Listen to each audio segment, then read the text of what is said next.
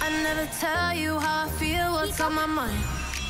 But when you need someone to talk to, I'm the first in line. I avoid the truth to live a little lie.